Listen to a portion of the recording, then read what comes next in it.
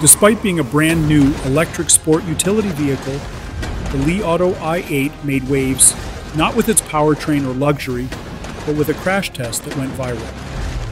In a high impact demonstration, the i8 collided head on with an 8 ton truck at a combined speed of 100 kilometers per hour. The moment the footage dropped, people could not believe what they saw. The massive truck was lifted off the ground as the much smaller i8 held its own.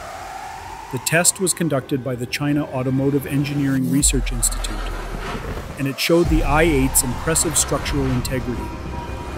The A pillars, B pillars, and C pillars remained intact. All nine airbags deployed, doors unlocked automatically, and the battery showed no signs of leakage or fire. However, the internet quickly turned its attention to something else the use of a recognizable Chenglong truck brand without permission. Dongfeng Liuzhou, the truck's manufacturer, condemned the use of its vehicle and announced potential legal action. Li Auto later clarified that the truck was a modified moving barrier meant only to evaluate the i8's passive safety, not to target any brand.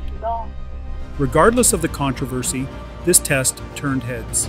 Do not forget to like, subscribe, and hit the notification bell so you never miss out on these wild moments in automotive safety.